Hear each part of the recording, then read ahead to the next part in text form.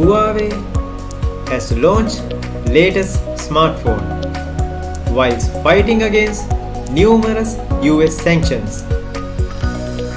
Accordingly, there's a social media buzz about 5G capability of the device.